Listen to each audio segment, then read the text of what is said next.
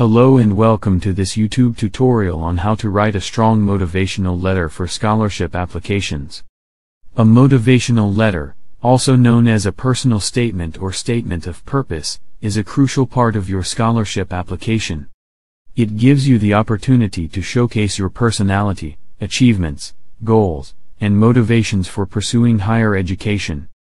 A well-written motivational letter can make the difference between getting accepted or rejected for a scholarship.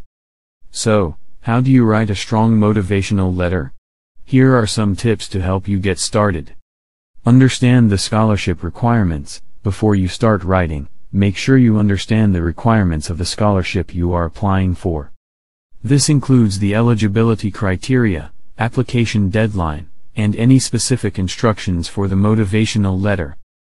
Do your research, research the organization or institution offering the scholarship, as well as the field of study you are interested in.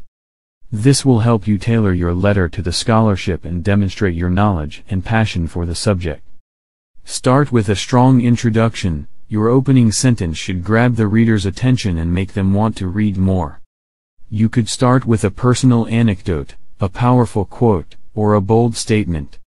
Highlight your achievements, use specific examples to demonstrate your accomplishments and skills. This could include academic achievements, extracurricular activities, work experience, or community service.